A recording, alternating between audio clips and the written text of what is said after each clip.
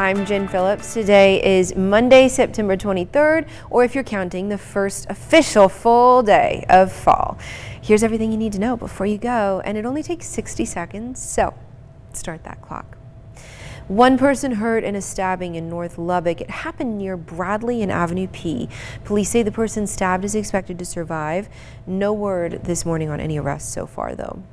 And Danny Adam Vasquez Sr. died in a motorcycle crash Friday night near Highway 84 and County Road 7200.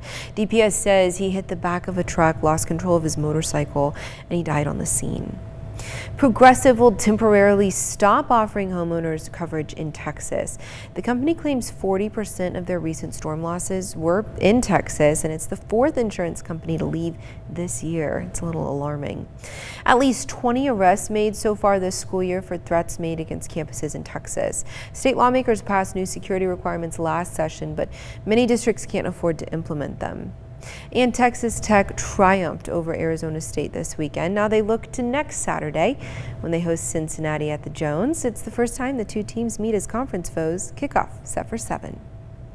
Okay, that was more like 61 seconds. But it's Monday and we're grinding and there is so much going on coming off a fabulous weekend. Some of you aren't even in school this morning, so I hope you sleep in and live it up.